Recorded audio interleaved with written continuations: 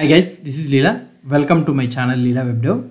In this video, we will try to see another uh, configuration that is nothing but with request made via parent. So if you try to observe in our angular.dev, okay, so I will try to show you angular.dev. In our, we are learning about the HTTP client concept.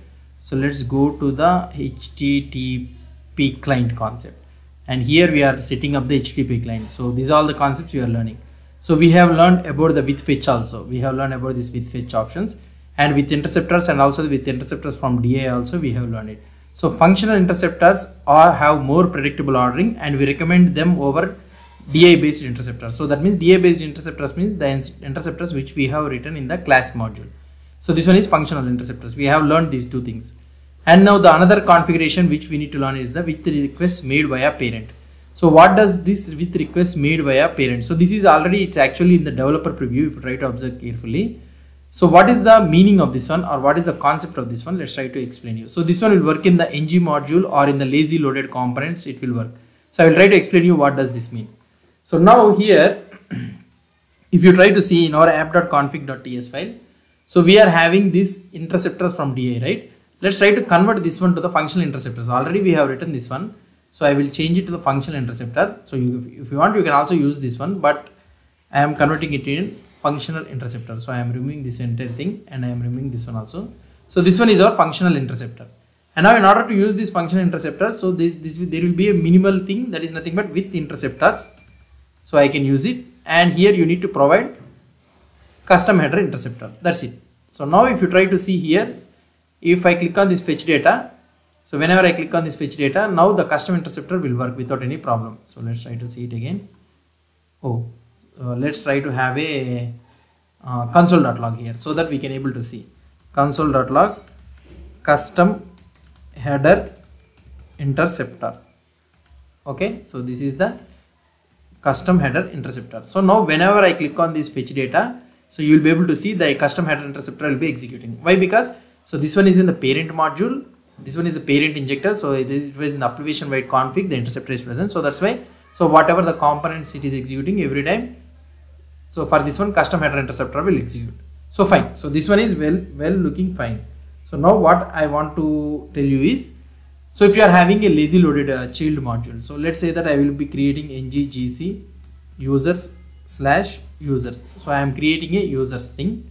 So let's try to create a component users. And in this one so what i will do it is app.routes.ts file. So in the routes.ts file, so I will try to create a route. That is nothing but uh, you will be having a path slash users and we need to load the component. So lazy load the component, load component and this one will be something like import of here I will be having slash users slash users slash users dot component. Okay. So now when you are trying to execute users dot component dot then and here you will be having uh, users. And it will execute users dot users component. That's it. So now let's go to this users component. And here I will open this app.component.ts file. And here I will copy this HTTP code. And I will try to place this HTTP code here only. Sorry on ng on init. Ng on init and here I will place the enter code. Fine. So now we need to inject the HTTP so private HTTP is equal to inject of HTTP HTTP client. Okay so now we have injected. And this one is nothing but data of type any. That's it. So now this is our users component. So whenever the user tries to type the slash users so we need to be able to get this data. So now we are not able to get it. Why? Because in our app.component.html file let's go to the app.component.html file. Sorry. app.component.html file. So here i will be using app sorry router outlet. So that whenever you try to use the slash users router outlet okay? So whenever you are trying to use the slash users automatically so custom header interceptor is getting loaded okay?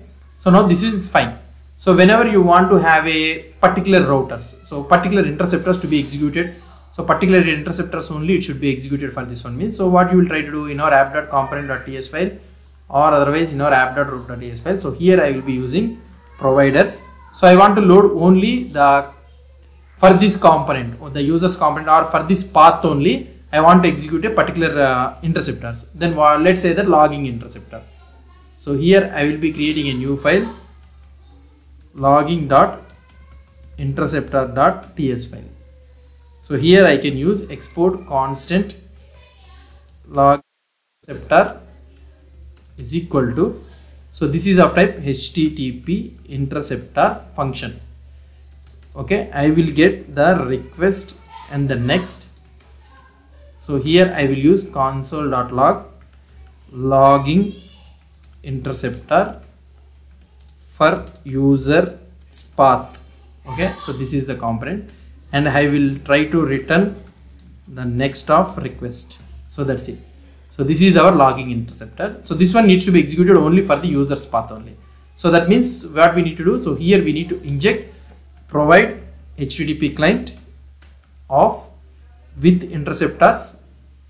So you need to use with interceptors and you need to provide logging interceptor okay so this is the interceptor which we need to provide it. Now if I try to refresh this page so here you'll be able to see the login interceptor for the user's path. So the only one it is able to execute it.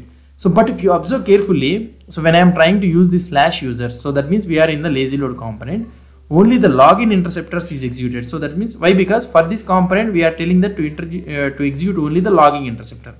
But if you try to observe carefully in the config.ts file we already have an interceptor that is nothing but custom interceptor in the parent so that means in order to execute this one so what we need to do? So now there is no no provision for us to this, this custom header interceptor is not executing in the slash users. For example let's go to the home page.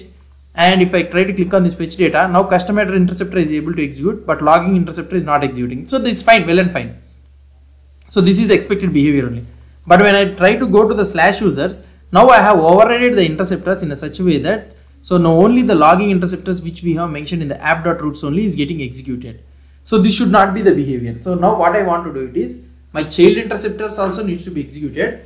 In a, uh, and my common parent interceptors also needs to be executed. So then what i need to do? So in this scenario so we will be able to use this with request made by via parent. So that means so the request whatever you are trying to do this interceptors so the request is made via parent. So that means what i need to do it is so here i need to provide in this http client only okay with interceptors and here i can use the comma with request made by a parent. So you need to provide this one. So when you provide this with request made by a parent, now automatically when you try to execute, see this logging interceptor also got executed and this custom header interceptor also got executed. So you need to understand carefully that first the child interceptors will be executed first, then only after that only then the parent parent interceptors will be executed. So the same scenario comes with the DI also. With interceptors from DI you need to use and you need to use the provide HTTP interceptors, multi-true and use class like that we need to provide it. So this one is a functional interceptor.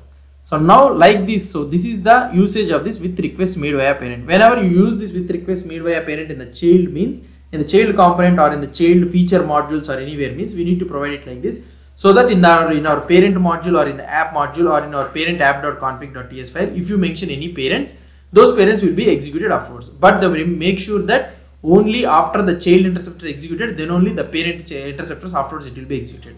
So you will be able to see the console.logs also. First the child interceptor is executed and then afterwards only custom uh, interceptor is be executed. So this is how we will be using this with requests made via parent.